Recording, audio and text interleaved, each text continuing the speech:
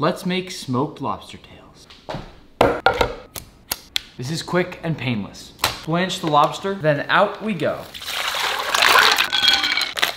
Perfect tail. Lobster, parsley, stick of butter, garlic, lemon zest, a little bit of saffron. Sous vide 30 minutes. Man, that looks good. Lobster tail, lobster meat, saffron butter. Quick little torch with my flamethrower. Hickory chips. Place on your lid. Look at all that smoke. Now let's add some fresh dill. This is pretty cool, right?